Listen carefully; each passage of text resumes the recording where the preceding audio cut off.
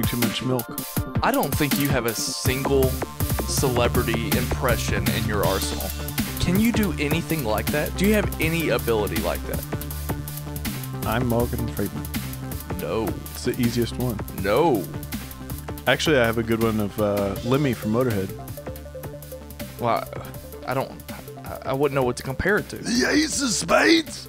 Oh, That- okay. That guy, and he was in Airheads, which I watched last night. I was editor of the school magazine. you That's what he said. watched Unbreakable and Airheads last night, I watched or was Airheads last Unbreakable night, the night before? and Unbreakable was the night before. Never. We did a never before scene with Kayla. I recorded it as a podcast. Did you really? No. I was gonna say. Somebody's got to put out movie content. I'm putting out. Uh, s- I I recorded with Ellis this past week. It should be going up um, in the next few weeks, probably. Yeah. Yeah. I'm excited to hear it. I think it went pretty well. You know, you know me though. I never think it's good when I'm doing it, but then when I listen to it, I'm like, yeah, this is the podcast. Habitual naysayer. It's a new shirt coming out in June. Just kidding. Speaking of habitual naysayer, you're accusing me of that a lot lately, but you've been saying negative things about uh, a lot of TV shows lately. You don't think Fargo's relevant, even though you're just flat out wrong. You said Master. I don't really believe that. You said Master of None was nothing, and you forced me to watch an episode today because of how great it was. Absolutely. We're going to talk about it in just a second. We're gonna talk about Twin Peaks eventually, I guess. Mm-hmm. Um, yeah, I mean, I think you naysay as much as I do. No, that's not true. I Uh, just it, it uh, absolutely is. no. I'm th- I'm the the positive one. No, Yeah. Christina posted that uh, GIF proving that I'm the happier one of the. Because you waved to the camera. Hey, she posted it. I happen to agree. Of course you do. Yeah, Of course you do. shout out to her by the way. She's great. What a great fan of ours. we have a lot of them. We have a lot of great. I wouldn't. I, wouldn't. no. Stop the fan thing. I I'm don't not, like it- calling That's exactly fans. what I was gonna say. That's don't like exactly it. what I was gonna say. Chill the hell out. I was gonna say she's not even a fan at this point. If friends. Let's do you follow her on. Twitter? Well, yeah. Okay, good. I was gonna say you can't call her a friend if you don't follow her on Twitter. One of my Makuga. favorite things. One of my favorite things is that she, uh, of the th- the three of us, her, myself, and you. Yeah. She uses the TV Time app more than more than we do, and I like it. Every I don't even watch some of the shows that she posts about, but I like every single one that she posts. Oh, really? Because I like the fact that Oh, she because uses they the go app. to her Twitter. Is that what you're saying? Yeah, yeah. I wonder if she does the video reactions too. I don't know if she's if she is capable of doing that because we're on a beta right now. No, Yeah, we're still on the beta. I don't think that's true. It's I one didn't. hundred percent I true. didn't sign up for the beta. It's just the app up updated one day. Do you have access to all the features that I, that I do? I don't know. I don't know either. I don't think I'm in the beta. The What a strange app conversation. updated. What a strange conversation to have on sight and sound. It's okay. It doesn't matter. Feeling Check uh, out the. T- well, actually, no. I wanted to transition to this anyway. What the hell are you guys talking about? We're talking about the TV Time app. It's a really great app for any uh, TV fan. It's like a. It, it- it's a couple different things. It's like a, a message board slash comment section slash uh, social media. You get to go into the app you like all of your favorite shows and you become a fan of all of your favorite shows. It becomes a tracker of how many episodes of that TV show you've watched, of any episodes of uh, TV that you've watched, and it kind of uh, calculates it all up. And you can uh, see that you've wasted, you know, 15 hours, 15 days watching TV shows. Uh, so that's pretty fun. And you can also talk to the people that are at those uh, same points that you are in the in the series. So like right now, since we just finished watching Master of None season two, episode four, I'm gonna mark that in my app. And then it's going to be confused because it's going to be like, Yeah, it's gonna be like, have you watched the rest of season two or just episode four? and you'll clarify for it. Uh, I want I want to talk about that episode in just a second. But while we're on the subject I'm, of I'm hang on of social media, I have something I have to admit. Today, I signed up for Pinterest. How do you feel about that? I like it. You like it? Yeah, I'm gonna figure out how we can use it to our advantage. I was gonna say. you know why? Because it's business, and I'm becoming more business minded every day. Jay, I follow Gary good. Vaynerchuk on all social media. He inspires me daily to to wake up. Did you listen to his Rogan episode? No, I have not.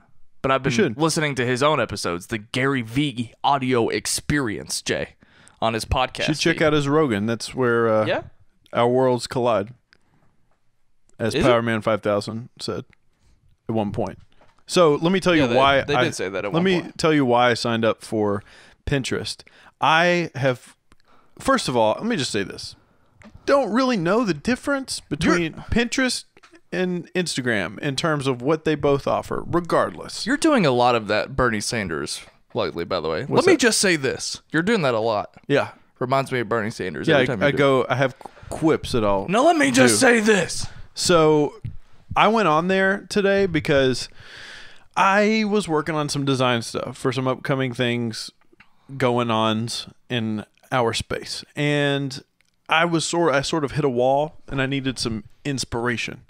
So I uh, Googled graphic design inspiration and I saw some stuff and the first thing I clicked on took me to a website and I was like, these designs are crazy. This is I love this website. I'm going to bookmark this website. And I looked in the top left corner and it was Pinterest. And I was like, holy shit, this is awesome. So I signed up for an account. And then it made it gave me Did you do it under the Sight and Sound Gmail? No. And then I, because I've got to test it out first, see how it goes. Anyways, it gave me, I had to pick five things to follow, and it had these like preloaded uh, categories. And th- none of them I was interested in. It was like men's hairstyle, uh, men's fashion, which is, I am into, Those are fa- two things you care about. I don't really care about men's hairstyles. Actually, I do. That's not true. You're right. You're right about that. But I don't want it on my Pinterest. I didn't want it littering my Pinterest. I'm going to figure out a way to make this work for us. So if you use Pinterest and you like sight and sound, the Okay. future is bright. Okay, going back to what I was transitioning to. Um, by the time this comes out, we will be looking ahead at the Leftovers series finale. That's Which, right. if you don't know, we've been podcasting and recapping the leftovers on this very podcast feed. If you're listening to this on SK Plus, know that Sight and Sound is its own podcast, and that's where Weekly comes out first on Mondays, and we got all kinds of other stuff going on. We've been recapping and discussing the leftovers all season. Uh, last week I wasn't available and I couldn't uh, join you for that. We will have put out s- the episode 7 recap by the time this episode of Weekly is out, and we will be looking ahead at the finale. Um, how are you feeling about it? How, uh, well, of the leftovers? Well, both about the podcasting with it, about the leftovers. I mean, are you, how are you feeling at this point? You know what? Oddly enough, oddly enough, the leftovers podcast that we've been doing, I think is some of the best stuff we've done. I think our analysis of it, maybe you, not Jay. the same type of analysis that you that people are looking for. You know, we're not we're not the guys that are uh, diving deep and and reading lots of essays that are written about things. We're not the most knowledgeable, but we know what we're talking about. At least we picked up on the fact that David Burton was in the the boat episode. Yeah. Whereas my friend Goodman in our comment section was like, "Wow, I didn't even realize that was the same guy." yeah the, look there, there's levels there's levels uh, to to like podcasting there's the guys that do it they, they just got some stuff and they're sitting in a garage somewhere there's your npr level Mark thing Maron? and then well yeah that's true and then there's us like in between we're the guys you just like to hang around with yeah. yeah. And I, I like it. I've enjoyed it. The season itself, again, like we've been saying, not what I've expected. Uh, doesn't make it any less enjoyable. Yeah. I, I'm on the same page with you, I think. I mean, I, I agree. The podcast has done really well on Sight and Sound, uh, especially on YouTube. I've been really, uh, really pleased with the YouTube numbers. I mean, I, I think our the one before the last one has like 700 plays on YouTube. Yeah. So I've and that's very, without a platform like. TV time to push. In fact, I think sometimes the YouTube the YouTube views do better than yeah the podcast. Yeah. Um, so yeah, I've been very pleased with that. So if you guys are listening to this and you've been following along with us, watching the leftovers, just want to say thanks and uh, grab our leftovers themed T-shirt, sightsoundpod.com. But uh, I'm gonna be sad to see it end. I am too. Yeah, we. I I don't know where we're going next. I know we have Game of Thrones on the horizon. We will be doing a Game of Thrones coverage here on Sight and Sound. Is that confirmed? I would love to. Okay, But in terms of our TV time distribution, nothing on the horizon just yet. But Right. regardless, um, just a little bit behind the curtain. Something I realized I the other get day. nervous when you do this. It's fine. Something uh, I realized the other day. Sort of looked at everything that we're covering: movies, music, and television. And even though I'm a music guy, I'm very passionate about music. I love talking about music, uh, and I have no problem talking about movies for the most part. But I think that just me personally, I might be the best at talking about not the best, but I might my my best takes are on television show episodes for some reason, and I have no re- idea why that is. I could see that. I can believe that. I I can't share share that with you. I mean, I I think I give the best takes on movies, but your whole point is that like if you're the music guy, your point being that you're Yeah. surprised that your best takes come from something you're not as passionate about. Right. I don't think I can share in that. I mean, mine are very black and white. I'm best at movies, I'm worst at music, and I'm pretty good at TV. Yeah, that's about it. my whole thing, my whole thing with music is I'm kind of uh, I, I I like doing the album reviews um, in terms of just content in general for everybody. That's fantastic. But I, I like talking about, I, and I've always been like this. I like talking about more of the behind the scenes music stuff. That's what we do on the music episodes. We talk about more like the you, excuse me, it's what you do here. You do Uh, a lot of setup in your music. Yeah, absolutely. Yeah, I don't I don't like getting into the nitty gritty of things like oh let's talk about these harmonies and the chord progressions. It's like that's you know not everybody's down for that. I like to tell the stories of music more. Uh, if we're gonna stay behind the curtain, I just want to let you know, and I want to let our listeners know, I'm fully aware that you are showing me up on YouTube. I've been so lazy when watching TV. Like I still have yet to see a single frame of American Gods. Um, Fargo, I watched like three episodes of, and I don't think it's good. Actually, no. Let me rephrase that. It's never hooked me. I think it's just okay. I'm glad we're having this discussion Why? because uh, You've been watching all along and you love it. no, uh, I haven't I haven't watched either of those either. I, I'm looking forward to you to doing more YouTube stuff. That's not like a. I just I, I'm enjoying making YouTube videos. I'm upgrading my internet. My internet is absolute trash. I have to plan my days around uploading videos. But that, Your your upload speed is trash. yes, That's what's so weird. Our services are so different. Like the combination of download speed and upload speed is really different than yours, and I think it's so bizarre. but yet I'm flourishing in my content. And and you uh, pay like double what I pay, right. which is absurd. Yeah. But anyway, Anyways, uh, the reason I was glad you brought this up, I predicted at the beginning of the year that this was going to be the year for movies and the pop culture crown, and then TV and music was going to be last. I think TV is leading the race. I think movies might be in last. I think movies is last. Dude, where are the movies? you want to put it into pers- I'll put it into perspective. The by- movies movie coverage has been trash on this podcast. Not the quality of it, but just like oh, we're, you know what I'm saying? Let me let me um, refer you to John Campea, host of Collider Movie Talk. Never met him. Never heard of him. He posted something yesterday, I believe, where he said we are approaching June and Logan is still the best 100%. movie of the year. No question And I it. agree. No question. Just watched it the other night again. Logan and in second place it would be Get Out, which came out in Yeah. February. I haven't seen Get Out, but So just judging by the conversation around those things, where is where are all the movies? The the other good movie that I've seen this year didn't come out this year, and that was uh, The Founder, the movie uh, with Michael Keaton about McDonald's. I got confused for a second. For some reason, I thought you you said The Fountain, and uh, that came out forever ago. No, the the founder I believe came out late last year, but um, but yeah, man, I think movies is in last. Like for example, Baywatch a year ago, I was really excited Yeah. to see that movie. I would have gone to see it in theaters if it was like at least above sixty. Um, but the fact that it was you know panned as one of the worst movies of the year, I just I'm skipping it. But Yeah, we're gonna get into a movie topic uh, later on today. I think it might turn the tide. guarding guardings guardians being a little bit of a letdown. I am so so so excited for Spider Man. Which is funny because when this came up, the Spider-Man discussion, you were like, you had no idea that I was as excited. I might go see it opening night. I, I am so.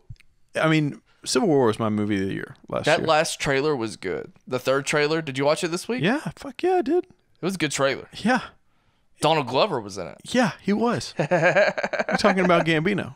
You're talking about Yeah. You're talking about Atlanta's Donald Glover. You're talking Atlantis? about you're talking about the best Twin Peaks Donald Glover. Atlanta is okay. We'll get into that discussion a little bit later. I don't even agree with that, but we'll talk We'll have a it. discussion about it. Oh, in a second. okay, it's all all right. good. Last thing I want to do for from my perspective to wrap up this the top of the show portion.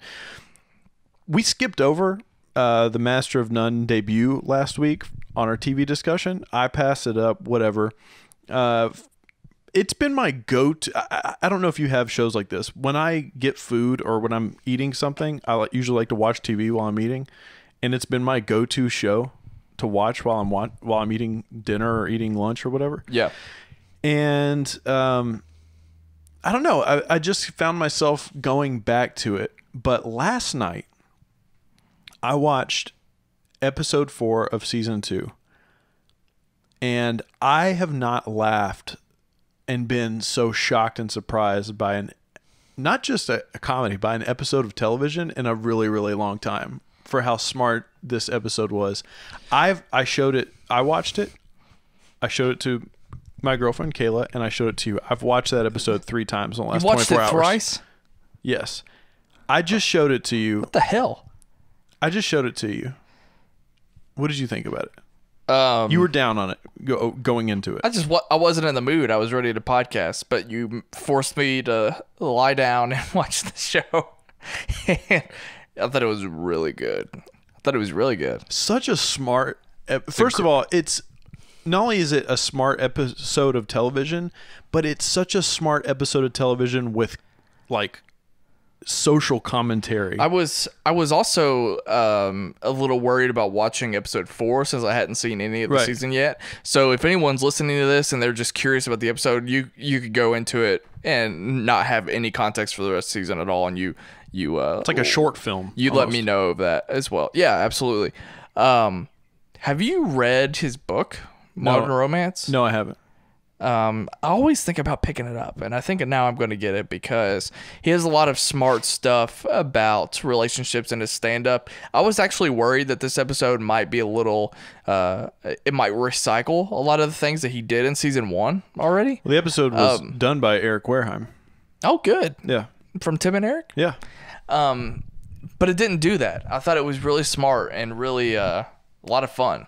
And uh, Well, anybody that's ever been on a dating app or dating website or Yeah. Tinder or something like that, I mean, the tr- that's what the episode is. It's a commentary on online dating, and we've both had experiences on that. I I met my girlfriend on Tinder. I, I mean, we've been dating for almost a year and a half or a year and a half, and yeah, I've met I've met works. girls that I don't like on Tinder. Just some of the cues that they hit were spot on. Yeah. And fantastic. And the the uh, bit at the end was so worth the payoff. And I'm not going to spoil it because people need to watch it. But was good. I laughed so hard. I had to pause it the first time I watched it, and I fell over onto the ground, and I was crying. I was disappointed at how little you laughed because I wanted you to lose it while I was with you. I didn't realize that that was your third time seeing Yeah. it. I was I was wondering throughout the episode like why why he's he made such a big deal about this. Why is he not laughing more? But I understand it now. Yeah, I was also anticipating like certain jokes, but Do you uh do you have a go-to line like he does? Or do you change it every time on Tinder? I don't remember. I was gonna say, can you remember? Let me just say this. I started doing online dating before t- Tinder even existed. yeah, I started out on Match.com because, and that that whole we can have a longer discussion about this on a after party sometime. I would love to, in fact, because I'm fascinated by it. Um, yeah, I went from being in a relationship for seven years and completely skipping out an entire period of my life where I was supposed to meet women as an adult. Yeah. I, I only knew women as friends and uh, acquaintances. And I didn't know how to do it, man. I had Yeah. no idea. I was like, where am I supposed to meet women? So I, at the time, it was kind of a, I was kind of ashamed of it to like be like, oh, I'm dating online. But now, now that's how most people Yeah. date. Now no one is not online. Exactly. So, And uh, I also remember those those nights of like the first date, like you have the anxiety, and then going home and feeling just f- exhausted. I mean, absolutely exhausted from it because you're putting on this show, and and you ask those exact same questions like on every single date. I just thought it was such a smart episode of television. my favorite first date ever. Um, I was going to ask you that question, but I don't know if, if you wanted to extend this on. it longer. was the most. It's the most singular experience that's ever happened in my life because it had nothing like it had ever happened before, and nothing like it has ever happened since. yeah. It was really weird. Um, she was my uh, waitress at Buffalo Wild Wings, and she was uh, she was adorable. And um, I remember flirting with her at the table. I was with some friends, and um, I knew uh, the hostess was a friend of mine. So when I, you know, I spent my whole dinner kind of flirting and stuff. I gave her gave her a nice tip. I always think that's the I think that's weird. Wait, you gave the tip to. I'm confused. You gave the tip to your waitress who you're on a date with. No. Okay. I'm I haven't gotten there yet. She was my waitress. Okay, gotcha. so um I gave her a nice tip, which I do think is weird to be like, "Hey, I like you. Here's some money." Cuz that's what you're doing. Yeah, But I mean, guys do it to get the get her attention, you know? hundred percent. So, um, I didn't do the, the I didn't leave her my number on the ticket. I've done that before as a joke, but I didn't do it at that time. Right. Um, so anyway, as I left, I Were you with Goodman when you did that for the first time? Because that sounds like. You know, I do. might have been. he I, he might have been like, "You won't do this," and I think I did. Um, but um, but anyway, so I walk up to my hostess friend, and she's really cute. Um, I, I don't know. I'd like to. Uh, what's her name? I'd like to get her number. Blah blah blah. And next thing I know, I just have a Facebook message from the girl saying, "So are you gonna take me out or not?" And I was Oh like, shit! I didn't even have to like there was no warm up conversation. I didn't have to do anything. I was like, yeah, let's go. Picked her up, we went to dinner, had a nice time. I didn't feel any pressure to like to like be on cuz Right. it was like accidentally I had already made enough of an impression by being her customer and like she was just already game to be on the date, you know? So I didn't even it wasn't like I had to try and um anyway, we saw each other a couple more times and I'll tell you I'll tell you how that ended off air Okay. Uh, cuz it's very adult. oh my god. Here we go. My my most my most absurd first date was actually Kayla and mine's first Oh, really? date. Uh, and I, how long have you all been together? uh, I'm not trying to get you in trouble. almost two years, about a year, a year and a half. Um, it'll be two years in September. But our first date, I went and picked her up for brunch, and she had to work that day. So we went and had brunch. We walked down to a restaurant called County Club, and I got there, and things were very weird there. And I was like, "What's going on here?" And there was a camera crew. they were filming a Food Network show there, and we had to sign like a NDA? yeah, like a whole thing. Were you on TV? So I, I watch a lot of Food Network. I really do.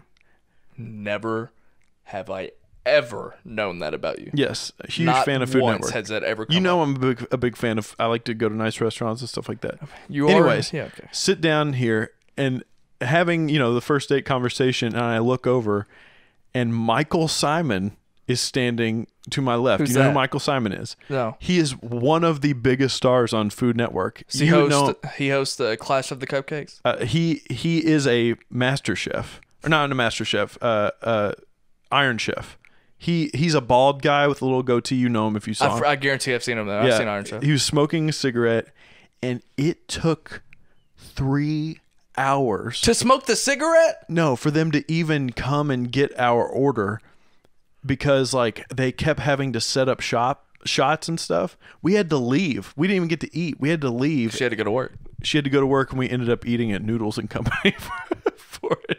It was just so absurd. That's that- great. Yeah, it's a crazy story. That's awesome. Yeah, it is awesome. Never heard. I've never heard any of this before. Really? Um, do we need to go to break or do you want to get into the first topic? Uh, we can just get right into it. I don't know. You. Oh, you know what we need you to do? The charge. Yeah. When we go to break for the first time, we need to select the winner because we were holding a contest. Um, we posted on our Instagram a picture of an Alien Covenant poster that I have in my possession. Wait, where is it? It's probably over there somewhere. What if you lost it? What would we do? anyway, uh, we asked you guys to to follow us on Instagram, to like that picture, and to tag uh, one of your friends, and uh, we will select the winner in the movie portion of our episode.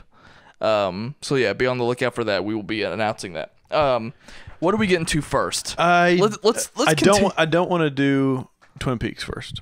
Let's do what we think is going to be the shortest segment. Okay, music.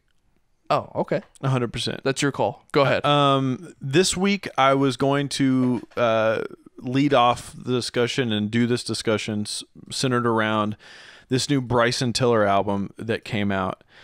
It came out a month early, and it was a surprise album drop. The crazy thing about this week, though, was there were two surprise album drops. The second from James Vincent McMorrow. The heavily anticipated. Well, you don't even know who he is. The he he has uh, 2.8 million monthly listeners on Spotify. Bryson Tiller has about seven. It's like regardless, podcast. regardless, uh, the issue with discussing all of this topic or this whole thing, I wanted to talk about Bryson Tiller. He's from Kentucky. He's from Louisville. We we are not from Louisville, but it's cool that he's from our state. And his first album was a smash hit. I mean, it was a Hmm. breakout hit. It went platinum, which is very difficult to do. I had no idea. yeah, very difficult to do. But he's got seven monthly listeners on Spotify. Seven million.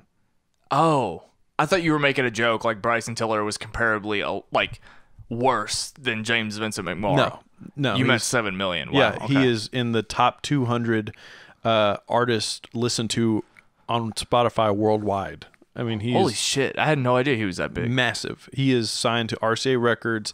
Some say uh, some are some call him the next Drake. I mean, just for what he brings to the to the table. His first album, Trap Soul, fantastic. One of my favorite things about him in general, he doesn't have the same sort of uh, braggadocious sort of vibe and stuff that that you get from people. First of all, he doesn't want to be famous. He's gone on record as saying, "I don't want to be famous. I want to be a songwriter for people." He's written songs for Chris Brown. He's written songs for a bunch of Trash. people. But he says that he makes records to support his daughter. He's 23 years old. He worked at Papa John's Pizza and UPS at the exact same time while he was trying to grind to get this shit done Yeah. as an artist. And he talks about that very frequently in his music.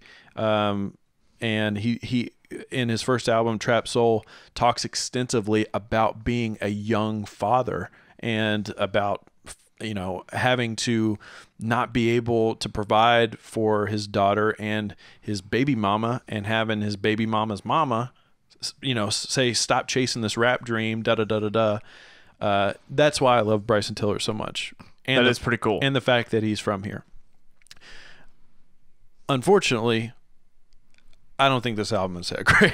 this new album that came out, uh, True to Self, Mm. it's a very bloated album. It's like 16 songs, and it's just it's, yeah, it's missing it's missing the mark quite a bit for me, and that's that's unfortunate. But um, yeah, that's why I don't really have much to say I listened it. to like five songs. It didn't stick. yeah, it's uh, I mean, It didn't stick. I, I don't I don't know what it was in particular. There are elements on it, sure, that that appeal to me, but it reminds me of of rap and hip hop music that I I remember growing up when Yeah. I, I I had never heard a rap album that I could listen to from front to back until I was in college. Young Jeezy Thug Motivation 101. Easily. You serious? No. Okay, but I I just I don't There is a lyric in that album that says, "Patty cake, patty cake, microwave." That's how he opens a verse. Yeah. Yeah, I just I mean I don't remember full albums that really ever grabbed me and that's kind of how this was. Oh, Young Jeezy, Thug Motivation 102, easily. Great sophomore album. You have you have nothing to contribute to this portion of the conversation. Regardless, let me shift over into the James Vincent McMorrow uh, surprise album drop. But before I do, let me let me ask you this question.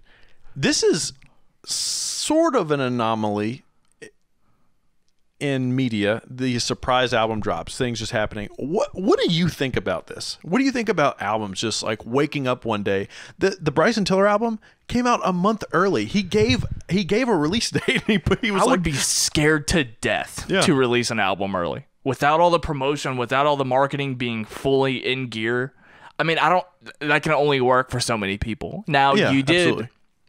You did shine a light and make me realize how big Bryson Tiller actually is. So I guess it doesn't affect him in the way that I originally thought it might. Yeah, if Brave But the I Storm mean- released a, a surprise album, people would just be like, Yeah. yeah. And if anything, it might actually uh, work against it because then more people would get annoyed that I'm trying to get people to listen to my album. You know what I mean? Think think about how self conscious we are getting people to listen to Sight and Sound once an episode is up. It's like, how is that supposed to work? Yeah.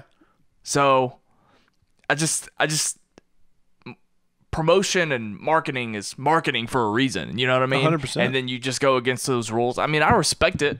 I think it's cool if you can pull it off because that means you're big enough. Did you all ever play an album release show? You know, I don't think so. I mean, nothing. I mean, they were big. It, not. I don't think we branded it, but we probably announced like on MySpace, like, Yeah. "Hey, we're gonna have our brand new." But it wasn't specifically about that. I don't think that's not how I remember it anyway. I played one album release show. Yeah. And uh, our buddy Matt Wilson set it up, which was mistake number one. Uh, he's a great promoter, but the reason it was a mistake was we had promoted it. It was going to be this big thing. It was. It ended up being fine and it ended up being good for the show. But he decided he was like, oh, you know what? I'm going to make it Emarosa's Yeah. album release show too. And I was like. What? They're, they're they're signed to Rise Records. Like, Yeah. what? This sucks. I think we even headlined the show, and I was no, we didn't headline the show. What he, he always what made them. album would have that would that have been for? This is your way out, Yeah, huh? yeah. There, we did the same album release show as them. Interesting. Ridiculous. That's funny. Anyways, but yeah, uh, marketing and having that was huge for smaller bands. But to just do this, think about this. Think about if all of a sudden you woke up one day and they were like, "Hey guys, Last Jedi is in theaters right now. What would you do? Would you call into work and be like, "I have to, I've got to go to the Yeah, movie theater"? yeah, It would be pandemonium, yeah. I would call into work easily. just like I do with Drake. Yeah.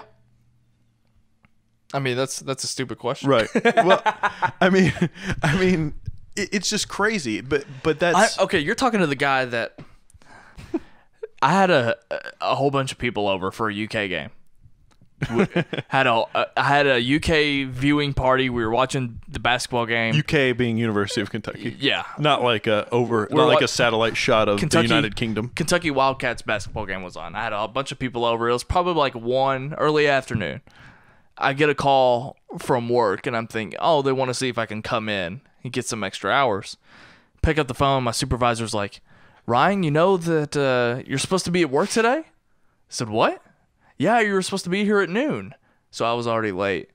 It's like, oh. And I looked around at the room full of people that I had over and I said, well, I'm kind of having a UK party. And she goes, So you're not coming in? I said, No. Why didn't you know your schedule? I, I don't know. You should be ashamed of yourself. That was like four years ago. Well, okay. So these surprise album drops, when they happen, just being a huge music fan, even when I don't care that much about them, I still get pretty excited about it. Like the uh, what? Not the not the biggest Frank Ocean fan I am now, but when like Swim good. when he put out Blonde and Endless in the same day, dude, I about lost my damn mind. About lost my mind. It was great. It was fantastic. The only thing I think that works with with your side of things, or maybe like Netflix shows. Sometimes they just release Netflix shows, so you have no idea what day they're coming out.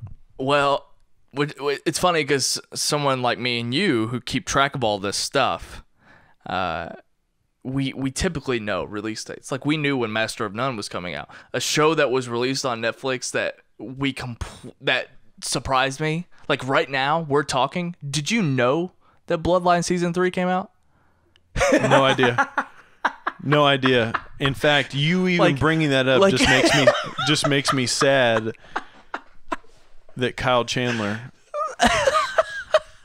is in a show that I don't care that much like about. right now as as it sits bloodline is literally over like people have seen a finale to bloodline and you and i had no idea that that was even out until i saw it on twitter today It's not worth talking about.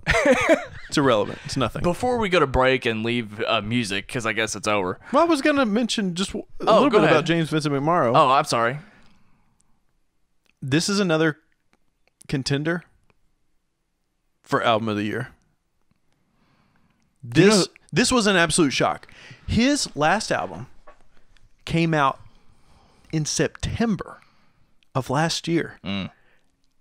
yeah i remember you mentioning him I had on no your idea. top albums No idea. He was in my top 10 of last year. Mm. He is somebody in the same vein of like maybe a Bon Iver to a certain extent, maybe a little bit more accessible. Mm-hmm. But he did something that I have been saying people should should have done for a really really long time. And he was basically making this sort of indie R&B music. he went cer- new metal no. He was making this indie R&B music, but instead of being some white Irish guy making beats on his computer, he said, "You know what? I'm going to reach out to a little guy by the name of 1985 and get him to produce my my beats." whoever that is Who is 1985, you say? How about a Grammy award winning producer who wrote a song called mm, Hotline Bling and many other uh, Drake songs? So now you've got this it's my favorite drake song now you've got this hip hop producer working with an indie artist, mm. and it is straight up molten lava fire. would i like it Yes, a hundred percent. swear to zeus His album "We Move," I think you would really, really enjoy. no is that the new one that's that's the last one from last year. okay This new one, a little bit more artistic. I don't know about if it's your speed or not, but regardless, it's to put out an album this soon makes me scared. I th- I get scared when people don't spend enough time on their albums. I think it shows. However, this one was great.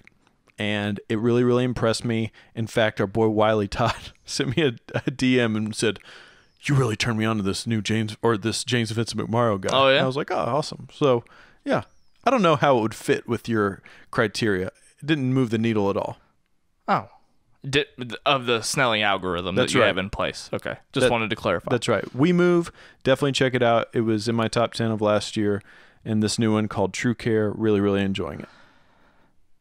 the last point I wanted to bring up how No, I'm not even going to ask you. I'm just going to say I find it extremely unacceptable that Chris Brown is still famous. And I'm not the the blame has shifted. I'm no longer pissed about him and how shitty he is as a person.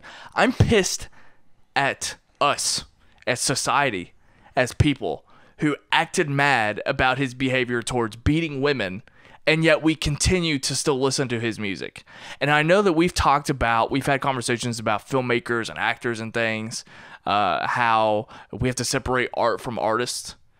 Yes. But I think it's more, it's more about the individual when it comes to music, especially if you're a solo artist. If you are more interested, or if you're interested in this conversation, there is a fantastic podcast uh, from a podcast called The Music Nerds, and they go into this very in depth about how they give some passes to some people, like Michael Jackson is Yeah. incredibly celebrated. Of course, nothing was ever proven with him, but Right. the allegations exist. And then you have somebody like a Chris Brown who they just don't give a pass to. Somebody like Tim Lambesis from As I Lay Dying. Yeah. I cannot listen to that band anymore. Right. If for people that don't know, he hired a hitman to kill his wife. He just he was in jail for years. Yeah.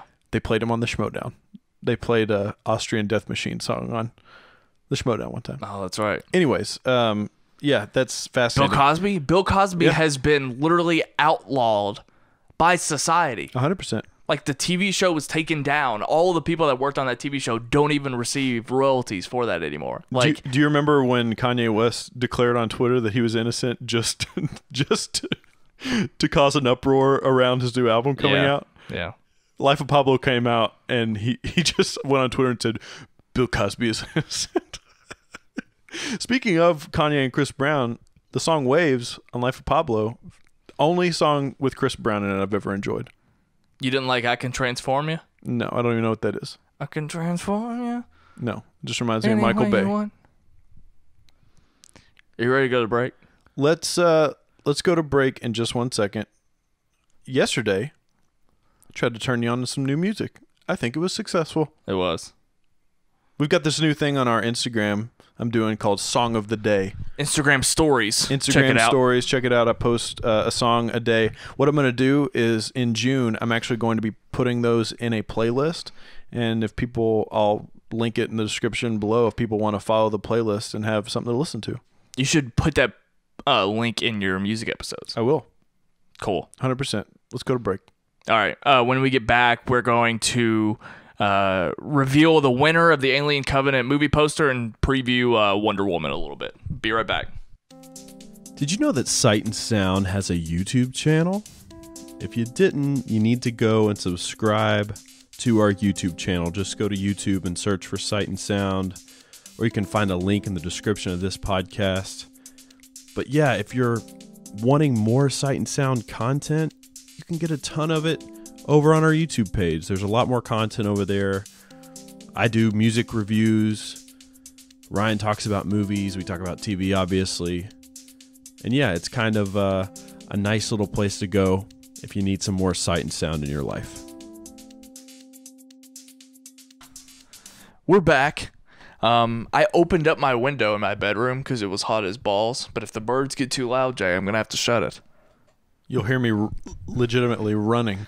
We will I'm be terrified ex- of birds. We're now exposing my entire neighborhood Should to we sight and sound. should we throw throw out a few Twitter polls maybe? Are you giving up on the Twitter polls? No, I'm not giving up. I just I'm not in the mood. We've already gone. So we're gonna go a week without it. We've already gone halfway. You're gonna go a week We're without literally it. halfway through this podcast. as long as as long as you can as long as you don't set up ones for topics that you that you're more attuned to. yeah, you're right. Give give me some Twitter polls. I'll throw them out here real quick. How do you feel about surprise album drops? Do you like surprise album drops? That's one. What do you think uh, the habitual naysayer is gonna say to that? No one's no one's gonna answer that. All we have is movie followers. They want us to they want us to cut out music from Sight and You're Sound. you're thinking too hard. um, it's simply I don't care for the question. can do one of uh do you like surprise album drops from your favorite artists? do you think we'll ever get surprise movie releases in theaters? Cloverfield was kind of like that. yeah, it kind of was. Both of them, sort of. Uh, the first No. one not so much. No, the first one was. The second one not so much. The second one they The second one was marketed exactly as the film was with the title. Yeah, we got but- a normal trailer. yeah, but they put the trailer out and then like the next month the movie was out. You're like, That's how like hell? almost every indie movie is. Okay, well, Same with Get Out. all right, I mean, it's just another example. Quit kicking your coffee over. okay. Do you like surprise album drops from your favorite artists? Yes or no? You can follow the Twitter poll at Sight Sound Pod, and I forgot to put it out uh, for uh, Of course you did. days. This is uh, okay. Throw this one up too. I've Okay, let's do one. this one. I've got another one. Okay. Is rap and hip hop becoming Our stale? rap, our rap and hip hop. Are rap and hip hop becoming stale music genres? Because I've said it multiple times. You just think every music genre is dying. No. Well, you didn't let me finish my point. Dude, I've been loving me some rock music this year. And a lot of it has to do with You Me at Six. How so? Because it was the first like big album that came out this year. Yeah. And it made me think, well, surely there's got to be better stuff than this to come out this year. Lower than Atlantis. Exactly. That's what I'm saying. So I was on a, and it, it it made my heart warm that you were so excited for music so early this year. so, so then I was like, well, I'm just gonna try to. The best album that released so far this year is Balance and Composure's three song EP. or I wouldn't even call it an EP. Do they even call it that? It's called a seven demos. inch. It's a seven inch. Timos, no. Uh, we'll have a review. I have a bunch of reviews on YouTube right now. Yeah, you do. Going back to showing me up here. All right, let's uh let's get into this. no, next let's uh, announce the winner of the Alien Covenant Okay. poster. Drew Laurel of Illinois. You have won yourself the Alien Covenant poster. Thank you so much for your support. I went on tour What- through your state. Should we let's what should we do? Have him uh, post a picture of it? Post post a picture of him receiving the poster and see if he'll uh, uh, talk about sight and sound. Is that fair? Yeah, absolutely. Go ahead and buy one of those shirts. Wear one of those We're it. adding another. That's the fine print. You can get this poster, but you have to post a. Yeah. But anyway, uh, congratulations to uh, Drew, and I will be uh, I'll be contacting you, and I'll be sending it out uh, to you uh, this week because I've got to I've got to stop by the post office anyway because uh, I tried to mail something out this week that didn't have a stamp on it. So, um, okay, uh, we're gonna we're in the movie portion now. Let's uh, let's preview Wonder Woman, and Okay. I was afraid that I told you what movies was gonna be this week. I was afraid that you were going to uh, not be so high on it. No, But I think really. a lot You have of- no idea what I think about things. That's true. I think a lot of stuff, especially recently, the fact that the embargo lifts the day that this podcast goes up, so much stuff has uh, developed since the last time that we talked about Wonder Woman, and I, I'm really excited to hear hear what you have to say because I am more hyped than ever to see Wonder Woman. Um, when you consider the fact, excuse me, I I've got hiccups. I'm sorry when you consider the fact that so many people are tweeting out their reactions, not their reviews yet, their reactions about how much they enjoyed this film. And I think even even though the tweets are just uh, overly joyous, it if that means they're just playing off of the hype, like if, if they're just uh, reacting to the fact that we haven't gotten anything substantial from DCEU and they're just overhyping Wonder Woman, The bar I- is low, is I what you're would saying. I would still be okay with that because Yeah. that means that I right now I'm confident that I'm going to go in and at least have fun and just acknowledge that DC can can do right. And I think that's all that I'm asking, and I I'm confident that that's going to be my reaction going into this movie. Um, I loved, and I don't remember who said it, but I, I saw I've seen plenty of comparisons from Patty Jenkins herself that she tried to make it uh, uh, as much as uh, like uh, the original Superman movie as possible. In fact, she even replicates a lot of the same uh, shots. The shot of Wonder Woman uh, putting her arm across Piss, Chris Pine and Piss Pine, yeah, uh, Chris Pine. That should be the alternate title for Twin Peaks, Piss Pine. Okay. Um. Anyway, I'm Place not even Between gonna, the Pines. I'm not even gonna. What a great movie. Um. Only in, only uh, at the end. No, because you don't have that ending without the rest of the film. Yeah, but there's a Bon Iver song that plays. It's a generational uh, human study. But anyway,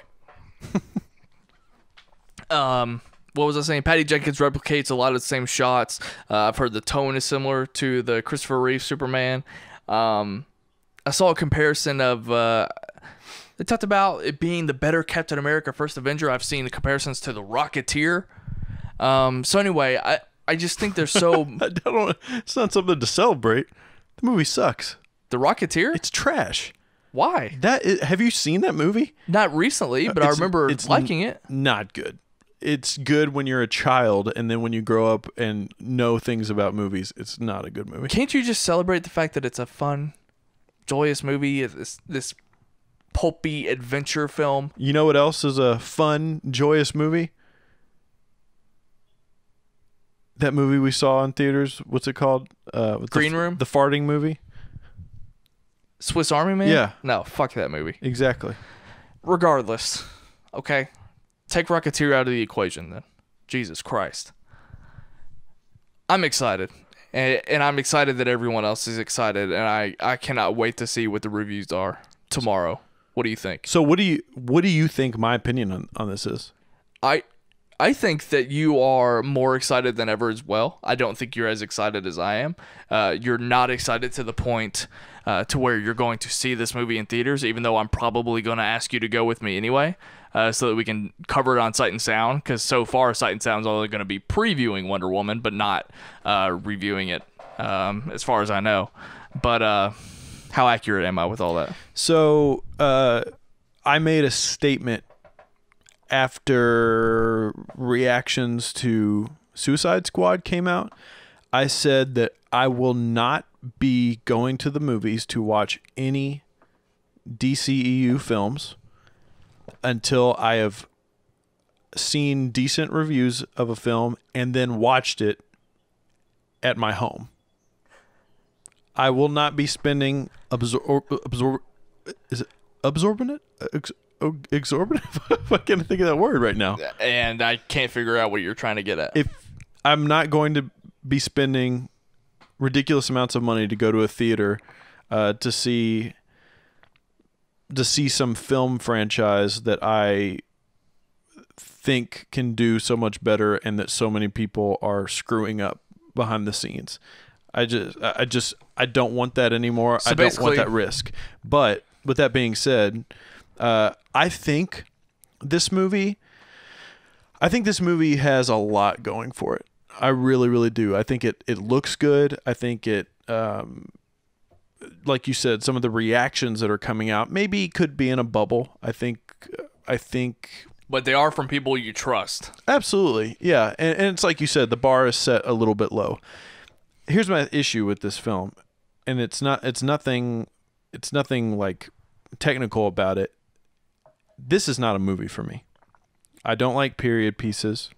Uh, if this movie was more of like a fantasy movie, something like Thor, I would probably be more into seeing it.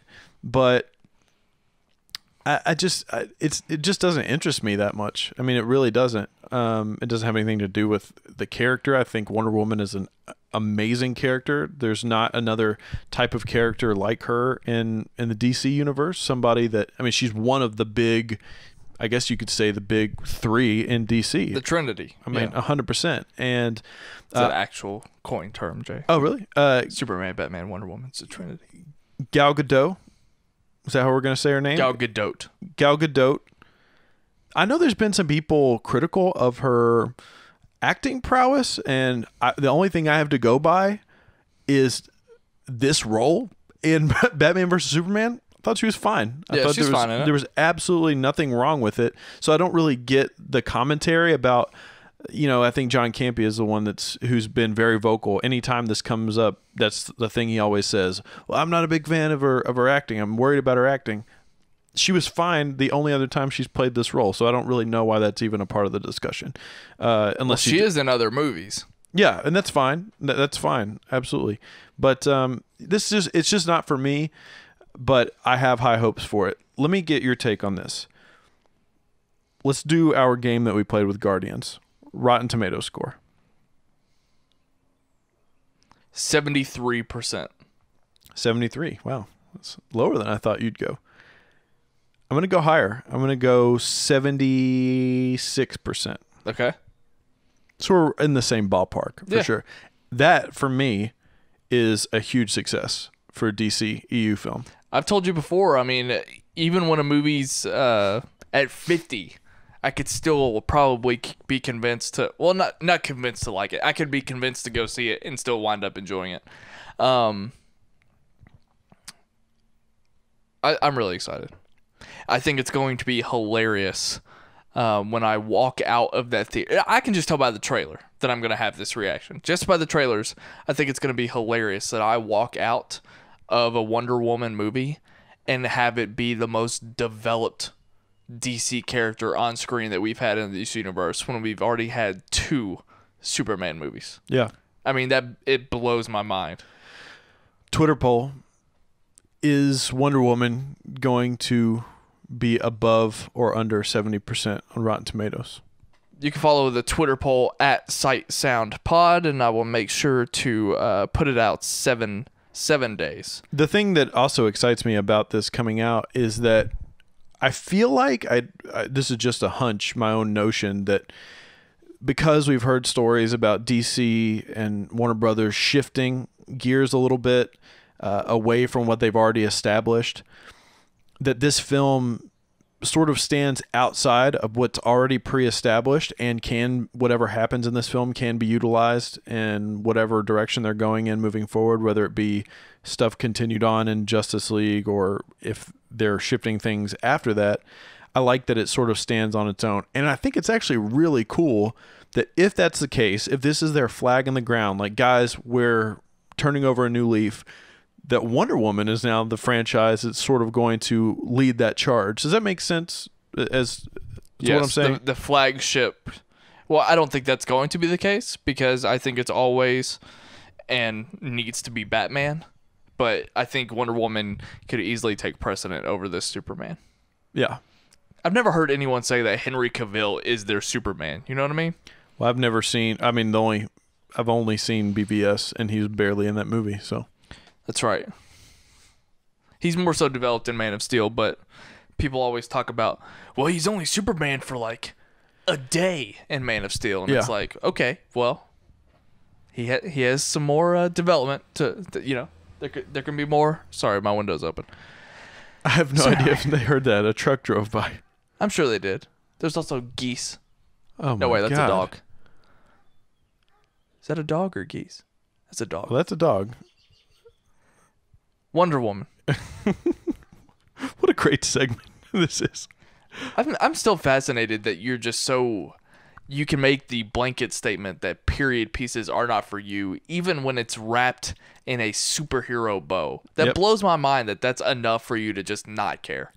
I don't understand that. I just I don't know, man. It's You don't live in the past. those time periods are already interesting enough. I don't need somebody running around with superpowers. Boo. It's just uh, Wait, what? That goes against your argument. What? That that would be a great argument for why you love period pieces. no, I just don't what you just said makes no sense. I just don't care. I don't like living in the past. I think if it, I think if anything, um, stories that are told in previous times are actually much more intriguing. I think cell phones have a lot to do with that. you know what? I don't like period pieces, but you're gonna see my ass first in line for Dunkirk when it comes out. It's true. Christopher Nolan's the only that's man. why. That's why myself and no one else listening has any idea where you, how you uh, like things, if you like things or not. That's why he's the. That's why he's the new Steven Spielberg. I'd love to talk about that on a movies episode. I'm sure you would. Can we do that? We gotta have a guest. I, I, I agree. Peop, the people who listen to us in Schmoville are gonna be like, all they do is ramble. They just, all they do is talk about stuff under their breath. Okay, well, let's continue to preview Wonder Woman if we have anything else left to say. I don't know what else I have to say. I don't either. I don't even- I, I do think I'm that not gonna go see it. I think the trailers have been consistently great. Uh, one just came out this past week again, so um, Wait, okay. oh no, I'm feeling good. Let me say feeling this. good about it. I will go to the movie theaters to see this if all of a sudden everybody is like, this thing is mind blowing. I mean, if they're saying that like this is like the best thing since The I Dark don't- Knight. I don't think anybody. Well, people have said that. People have said it's the best DC movie since Dark Knight. Oh well, that's different. Well, again, That's not different. I I think Dark Knight Rises is pretty good. it's it's And okay. for someone to say that Wonder Woman's better than Dark Knight Rises, that means something to me. Absolutely. Dark Knight Rises is like a, for me, if I'm grading it, probably a B. Okay. That's still a good movie. It's all right. It's pretty good. Yeah, It's a good movie. I have a high standard. Yeah, you watched Airheads before. Airheads is fucking great. All right. Do we have uh, anything else to say about Wonder Woman? other Michael than- Richards is in Airheads. Swear to Zeus. I swear to God, he's hilarious. I think I do that. Um, is that all we got? I guess so. This is Anyway, I'm excited and uh, all we want to do is rant about Twin Peaks. I can't wait to see it with you, Jay. All right, let's um, let's take another break and uh, then we'll finish up with some uh, TV talk. Let's do it. If you absolutely cannot get enough of sight and sound, we have you covered on all bases.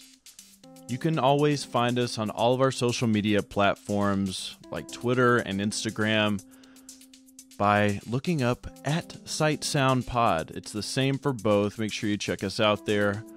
Also, make sure you're liking our Facebook page because we want to get some good conversations going between our listeners and one another. So, search for us on Facebook. Just search Sight and Sound. Use the ampersand.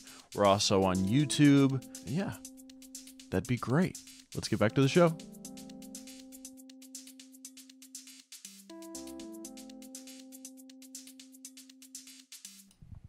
Should be saving more. All right, Jaye. we we You heard waited me this long. You heard me mumbling under my breath about me uh, needing to save more money than I do. You don't need to save money I do need to save money. for what? Uh, I'm A Showtime subscription? no, I'm canceling my Showtime subs- subscription. You don't want to watch Billions? I'm, I'm on the free. Uh, you know what I almost watched last night on Showtime because I have it for a month is Billions. No, is uh, Brokeback Mountain. Big fan. Oh yeah, never Big- seen it. Big fan. Great film. We should do a never before seen. R.I.P. Heath Ledger. Absolutely. I almost cried when he died. Really? I really did. Wow. Did you know that uh, the first song on the second Bon Iver album is sort of tied into his death? Were you aware of this? No. It's an interesting story. I'll tell it sometime. Okay, I'm sure you will. All right, let's uh let's get to uh, why we're all here, ladies and gentlemen. Cody. Ray Hecker should be ashamed of himself. N- no one. Not only does no one know who Cody Hecker is, listening to this podcast, Neither do I. we do not care. He's out of our lives That's right. now. Let's talk about Twin Peaks. We weren't going to talk about this. We weren't, but um, it's a hot topic. I It- it tweeted is. about it. I tweeted about it today, a week later, uh, from the from the season premiere. People were already is still in their consciousness. They were responding, reacting to what I had said on Twitter. Uh, I won't spoil what I said, but This was sort of a surprise album drop to a certain extent, week one, why? because no one ha- no one knew that they were going to be releasing the first four episodes. Is that true?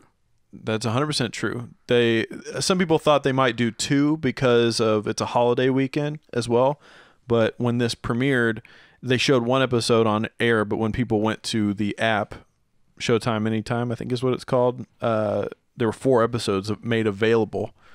I Oh. wasn't I wasn't going to talk about this show. I wasn't even going to watch this show. You and I are both fans uh, of a podcast called The Watch, which no one should listen to because I haven't listened to the watch in a, several weeks. it's a joke a joke about it. It's legitimately how we got the idea for this podcast. But anyways, uh, they were huge on this show. Uh, originally. originally, Andy Greenwald, one of his all-time favorite shows, and when they reviewed it, when they reviewed these episodes, they they have this thing they call the belt, which is like the they give the belt to a, TV show that has the best week or is currently the best, and it switches hands and whatnot. Um, they gave this the belt for the best TV, and they talked about it glowingly. Uh, heard other people talk about it glowingly, and I even heard them talk on TV talk about it to a certain extent. And I was like, okay, if Josh Macuga can get into this, then surely I can. So I sat down to watch it, and I have my own thoughts. And Can we talk Yeah. about the original? How we feel about the original series first? absolutely, I watched maybe the first two or three episodes of the original series with the friend that you referred to, Cody. Uh, he was on this huge David Lynch kick. It's it was it became a joke. Yeah. It became a joke. He was been- all about. He watched Mulholland Drive twice in one day. really. I didn't know that. Yeah, and that's why he always wanted us to podcast about it, just so he could hear what we thought. Um, which is very flattering. Um yeah, he watched he like couldn't take his eyes off it and i still don't know how he feel, actually feels about it to this day he could never clarify how he feels about it he just tells me like it was in a he was in a trance and he watched this film Well, now I want to now I want to review it just so I can find out how he felt about it. A giant bird just flew by the window and it, it i'm glad i shut my window terrified me. um What is this? Twin Peaks? I watched the first uh, two or three episodes, and I remember um, laughing at how ridiculous it was. Um, the old lady yelling about her blinds across the street. Uh, the horrible acting, but not only was it horrible acting, you could tell it was done purposefully Yeah. um uh, just just weird um dated to me it was hard for me to watch just because it, it looks like an old show Too dated. uh In my it's, opinion. it's it's a little dated and the the tone of it makes it even worse like when you're watching what twin peaks was in 2016 it even f- dates it further back Yeah. because of the way it appears uh, as a show Well, just history on the show in general. The show was on ABC. Is that correct? Originally? i don't know on ABC originally, a huge, massive hit its first season. Uh, David Lynch didn't like sort of having the reins on him. I mean, it was a murder mystery first season. They essentially, he had no plans on even revealing anything about the murder yeah for a very long time and they forced his hand making him reveal it because you know network tv they're like people want to Yeah, see yeah, what yeah. this is about uh yeah i i tried to watch it multiple times how many episodes did you get into the original probably series? about four or five so barely further than and me and it came to a point where i was watching them but i wasn't really watching them and Yeah. it just it was too dated and there's dated in terms of like the pacing of things and the story arcs those things can be dated but then there's just the actual style the aesthetic of it. It just i couldn't couldn't do it. Now i am a massive massive massive fan of the theme song of this show. I love the theme song of this show. I have it on, on a playlist. I listen to it quite frequently. I love it. It's uh, some post rock shoegazy goodness some twangy guitars sounds like something you would hear on a brand new album it's fantastic I'm glad. okay Uh, let's talk about how we felt watching this episode uh, before going in. So basically, i based watched on three you watched three episodes. Based on my impression of the first series, um, I was not interested at all. I had no problem doing it because I wanted to talk about it on this show, but I was not interested in the least talking about this show. In fact, I was getting a little frustrated because so many people were hyped up, so many people were amped up after it came back. Because, you know, I follow a lot of TV Twitter and movie Twitter, people that are watching this show. I was a little peeved at how much attention this show was getting because I had an idea in my head of what the show was going to be based on.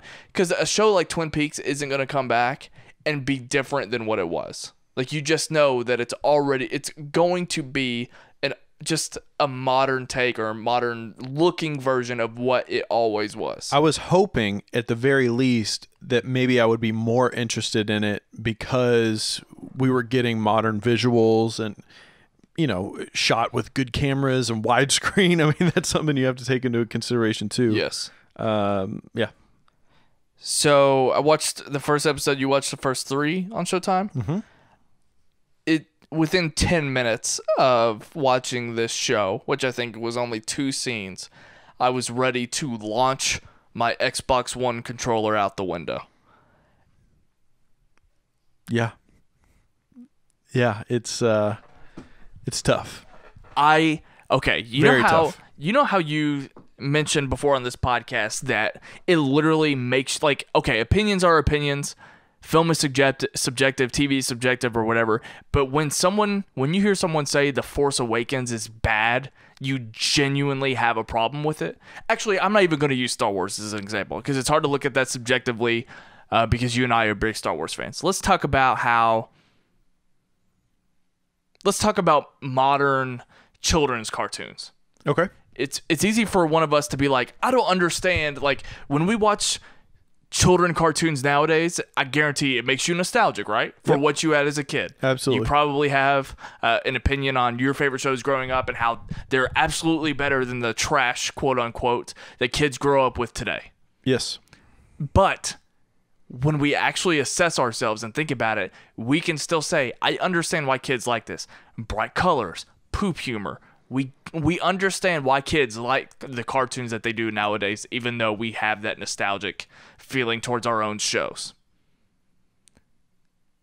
I do not at all understand why people love this show. I genuinely cannot grasp how this is a high profile drama that gets people hooked and makes it a must watch show from week to week. I think a lot of the discussion has to has to go back to when the show came out.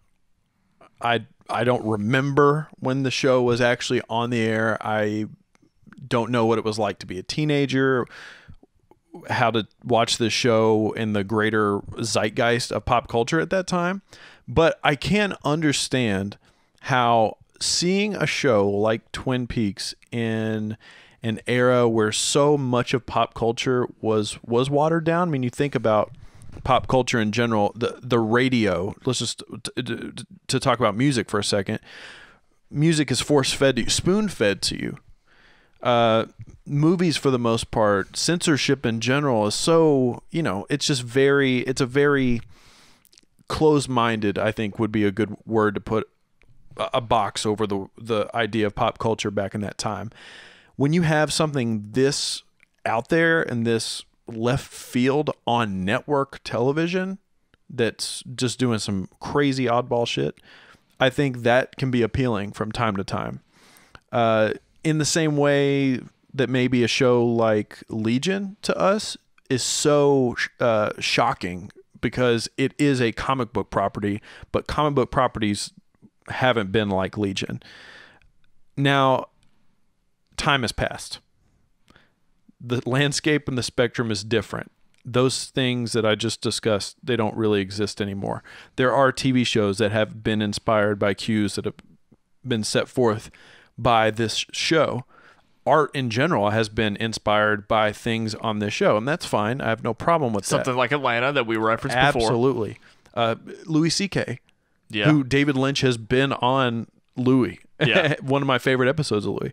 Um, but with that microscope now of today, of modern time, I'm sorry. This show is not good. Not only is it not good, the only appeal I can personally see is what I call the the victory lap. This show is no different than when Arrested Development came back. When that show came back, the only appeal was to see the faces that you knew and loved pop up. But the difference between this show, Twin Peaks, and that show is that Arrested Development had a very identifiable storyline. yeah. This show prides itself on ambiguity, on being interpretive, which is great, and art can do that, and that's fantastic. That's highbrow to a certain extent. But for me, this show basically uses that as a cop out to not tell a good story. So let's pause for a second. Okay. Going back to what you said about how you understand how something as absurd, uh, like early in the early '90s, can come out and do well success uh, critically, or based on viewership numbers. I can get on board with. I don't fully agree. It would make sense to me if something like that came out and it was a critical darling, but people still didn't watch. Yeah. The fact that it had the viewership that it did still angers me and blows my mind. Because things things like this do come out where audiences don't get them, but they can be critical darlings, and that would make more sense to me than the viewership numbers do. So, but what you just said, I agree 100%. And you know how I feel about things that are weird for the sake of being weird.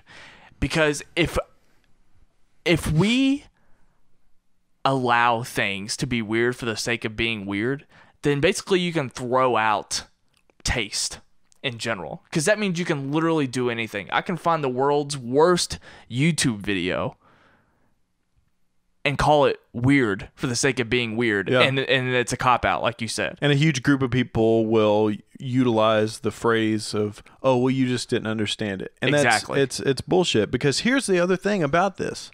Like I said, other things have been influenced by this. There are shows like Twin Peaks that do Twin Peaks better than Twin Peaks is doing it. And all of our examples have been comedies. Yes. which make it not only more accessible, but you know, I have a really hard time watching Twin Peaks knowing I'm not supposed to take it seriously if that's the point. yeah, exactly. Because because to get there, I have to watch a show that has purposefully poor acting in it. And that that drives me nuts. I think the issue with me and where I had to put my foot down with this was the fact that I went through I went through 3 episodes and the fact that I mean those 3 episodes were so loosely tied together to one another mm-hmm.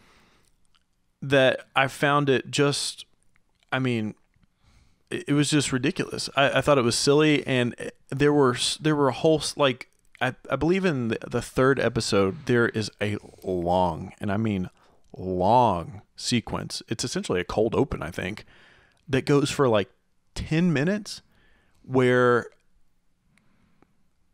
there is like no very little dialogue, and everything everything that you see skips like you're listening to a CD with a scratch on it. Yeah. And it'll like repeat the same part. Yeah. And to a certain extent, stuff like that is can be interesting, 100%. But in that same episode, they had an entire maybe 5-minute sequence of a guy just painting shovels, I think it was. And at one point I just thought to myself and said, "This is incredibly self-indulgent." Yeah. like incredibly. I once saw a band called Some Girls Play, and this band had a part in their song where they said ape repeatedly, and they pointed at every single person in the room and did it. This was a venue that had 500 people in it. And at one point, I just said, This is not art anymore. I'm sorry. It's not. It's not. This is just you doing it because somebody told you that you could if you wanted to. Right.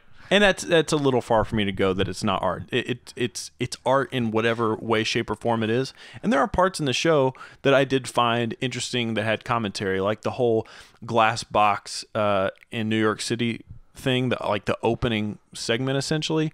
Uh, I saw that as a commentary for people watching TV, being forced to do something, not even knowing what they're watching, waiting for something to happen. I get it. And that was me. And the show That was us. the show became a smoke monster that came out of my TV screen and literally stabbed me, and now I have no emotion. Yeah. It's all been drained from me. Um, I think a lot of people, because from my tweet, there were a couple of people that were telling me, "Oh, watch the original series. You'll get this episode," or "You're you're crazy," because I, I straight up called Twin Peaks trash on my Twitter Yeah. and uh, a lot of people were quick to defend it. And I can see a lot of people saying the, you know, you just don't understand it, that type of thing, or to give it more of a chance. How can you talk about the show when you've only seen two episodes of the first season? How can you talk about the show when you've only seen the first episode? The difference is, I will give a show one, two, three episodes, the four episode rule, um, to see when a show gets better, good, or to understand its identity. My genuine, my actual thoughts on this. If I was to continue watching this series, I would be watching three to four episodes just to see if this ends up becoming a TV show for me at all. Because as it stands, it is not, and that's the difference. I'm I'm putting my foot down and saying this is nothing. I have zero interest in it. Yeah. And that's what I would be doing. I would literally be watching just to see if it actually ever becomes a show to watch. The only reason I wanted to continue watching the show is is purely because of the extensive list of ridiculous cameos that are in the show, I was gonna, yeah, which in my opinion kind of also reinforces the fact that it's self-indulgent. it has I mean, cameo appeal, and, Yeah, and you talked about and- having appeal. and a sh- like it is. if this meant something at all, you don't need to lean on that. Like the headlines, the the headlines that I saw from from this show were all about the cameos. One of the biggest ones was watch Michael Cera's cameo in Twin Peaks. Okay, so what? At least Force Awakens put Daniel Craig in a stormtrooper outfit. Exactly. Like, don't get me wrong. Eddie Vedder is somewhere Yeah. in the show. I I'd love to see him just because I love him, Yeah. but I Shout out know, to man. Ashley Judd, good Yeah. Kentucky girl in the first episode at least. I didn't. I'm not gonna continue to watch past this. Matthew Lillard, good to see him alive. Um, yeah, it has cameo appeal, and that's about it. Um, I just talked to Mark Ellis earlier this week about being confident in my opinions. Mm-hmm. I I refuse to believe that this is good, yeah. and I'm sticking to it.